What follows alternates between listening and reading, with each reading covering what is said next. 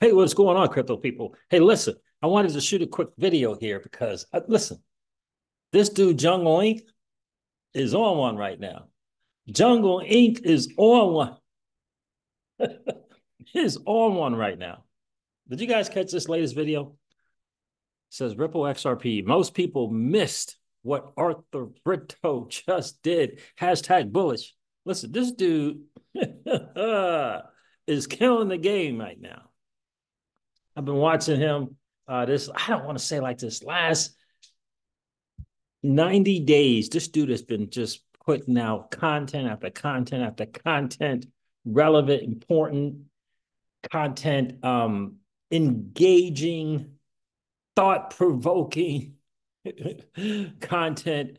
I mean, next level, whether it's three minutes, five minutes, eight minutes, 10 minutes, 30 minutes, uh, these recorded videos. He has been killing the game. He is on a, what do they call that? He is, he's on a, uh, on a heater. Is it a heater? I don't know what you call it, but the dude is killing the game right now. Make sure you turn in, make sure you turn in, you subscribe, hit the notification bell. This dude is killing the game. He's talking about Arthur Britto. I'm like, what the world? How do you know what's going on, Arthur Britto, bro? He's he's saying Arthur Britto. He Arthur Britto is the one. Did you know? Is a, I guess there's a reason why, um, like we know the name. I don't know. I, I I don't know. You know, like one and a half people know the face. Like what? Who is this Arthur Britto dude? It's cray cray in the street, lending out Bitcoin, lending out his XRP. What, when, and how come? This is this is this is uh boss moves from Arthur Britto. oh, it's just some boss moves. Make make sure you guys check out this video here from Jungle. He is on a heater, as we like to say, or we like to say he is on one right now.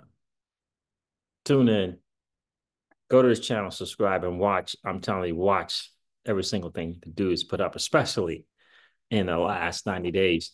I was um doing my usual thing today and, you know, popping my head outside of the XRPL bubble and taking a look around.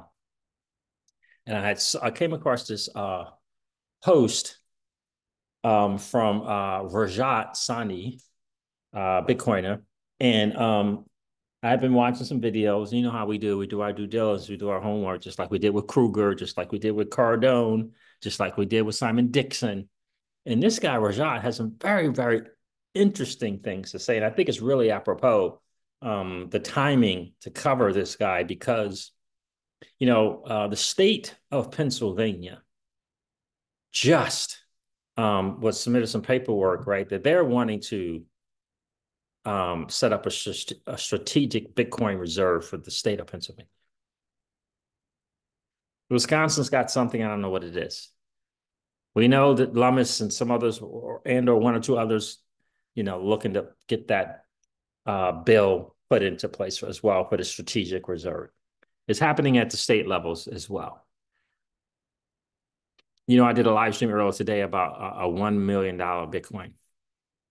And I just think, I just hope people understand what's, what's really going on here so that we don't, so that people don't miss what's really going on here because people think it's just oh it's just silly little old Argentina. Oh, it's just even smaller, smaller, smaller, sillier um, El Salvador. You know, they don't, you know, it's just little old Bhutan.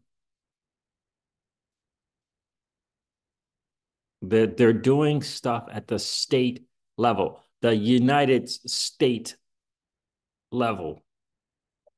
Are you paying attention?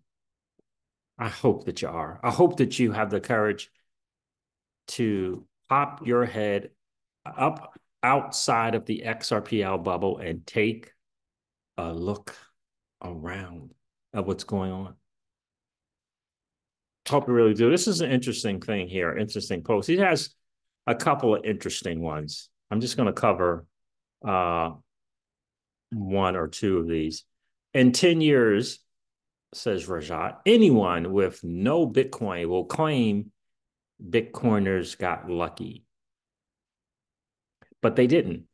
Anyone that owns Bitcoin did something others weren't willing to do. They put in the time and effort to study something that the majority of people see as a Ponzi scheme.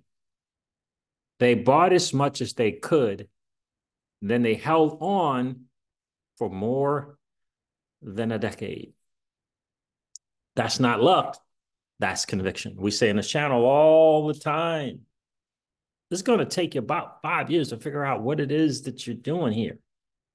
And then it's another five years proving or figuring out or proving out that you know that you know. That's 10 years. He talks about studying. What's the latest books you've read on Bitcoin? Did you read The Price of Tomorrow? Did you read the Bitcoin Standard? Are you expanding your knowledge base of the asset class and the asset? Are you leveling leveling up or are you listening to XRP entertaining content creators to get your knowledge and your foundation for Bitcoin? I talked about uh, a video from my guy Dennis from the Virtual Bacon YouTube channel about the the the the ease in which Bitcoin, the simplicity in which Bitcoin and how Bitcoin gets to a million dollars per Bitcoin in the next 10 years. And here we are way ahead of the game than most people. Way ahead of the game than most people. My question is, are you taking a look around? You know, just because Bitcoiners say that the only asset you need to hold doesn't mean that's the only asset you need to hold. But do you hold some? He says, I'm not saying this to scare you. I'm saying this to prepare you. If you're in your 20s and 30s and you're only relying on the S&P 500 to save for retirement, I think you're heading for a trap. He says, let me explain. Most people think the S&P 500 is all they need to retire. I think this is an assumption that will not play out. Inflation is going to accelerate in the coming years because the Fed is starting to lower interest rates to incentivize spending. The United States government is about to start spending a lot more. Right now, the S&P 500 is performing well, giving investors around 10 to 12% in nominal terms, not inflation adjusted. 10 to 12% a year? A whole year for 10 to 12%? In nominal terms, this will probably go up, right? Because money printing will accelerate because the United States government will need to spend more to achieve the same goals. In real terms, inflation adjusted, the S&P 500's returns will drop. The S&P 500 has been an excellent way to escape inflation. It's also liquid relative to other assets. Real estate is not liquid, but the S&P 500 now has a serious competitor. Instead of passively investing in stocks, investors can also passively buy Bitcoin. Studying, purchasing, and storing Bitcoin properly could require hundreds of hours of research before January of 2024, when Bitcoin ETFs will launch. But now it's just as easy as buying stocks. And that's the purchasing part of Bitcoin. You could have been studying and storing before the Bitcoin ETFs, but it's the purchasing of Bitcoin by way of these ETF that has become just as easy as buying stocks. The nominal return on S&P 500 will always be great because it's directly influenced by the amount of money being printed. The amount of money being printed will increase forever as the dollar loses its purchasing power and purchasers and purchases fewer goods and services. Most people who want to adopt the S&P 500 have a savings vehicle as a savings vehicle have probably probably already done so. This means in the coming years, the flow of passively invested real estate or real dollars, passively invested real dollars going into the S&P 500 will decrease as savers favor Bitcoin because of the lower risk profile. So listen to Gary Cardone today, trying to explain to people how people, you know, the deca millionaires and the nine figure people think. And he mentioned again about Bitcoin at the 60 something thousand dollar price being the best risk adjusted reward asset. Risk adjusted reward asset at 66, 64K. Very few understand. Very, very few understand. So this, okay, so all right, this is going to take time. It won't happen overnight. Most people don't um, don't even understand 1% of what there is to know about Bitcoin. It takes a very long time to understand why Bitcoin is less risky than the S&P 500 and this is the big the biggest barrier for most savers. They understand the old system and they know that more US dollars will be printed forever. So the S&P 500 will continue rising forever. But they haven't considered that the form of money the world accepts for goods and services could change.